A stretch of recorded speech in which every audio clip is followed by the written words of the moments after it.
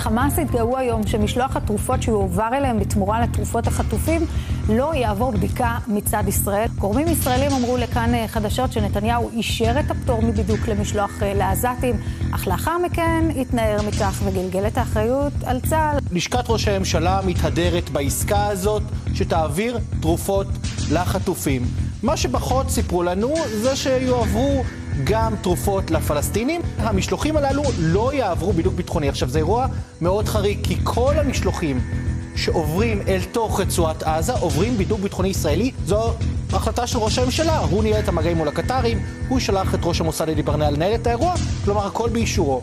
ובסביבות 12 בצהריים אנחנו מקבלים את אחת ההודעות הבאמת ביזריות ביותר. נתניהו הנחה להעביר את התרופות לחטופים, אך כלל לא עסק בסידורי הבדיקה של הכנסתם, שנקבעים על ידי צה"ל וגורמי הביטחון. מה שנתניהו עושה פה, למעשה מנכס לעצמו את החלק הטוב, את כל השאר, את כל הדברים הבעייתיים, את כל הדברים שלא ידענו עליהם, זורק על מערכת הביטחון, ובאמת אה, אחד האירועים הביזאריים ביותר שבו באמת אה, נתניהו אומר לנו בפירוש, אני רק מעביר תרופות, כל השאר... כן, כל זה לא אני. תפנו לאנשים אחרים.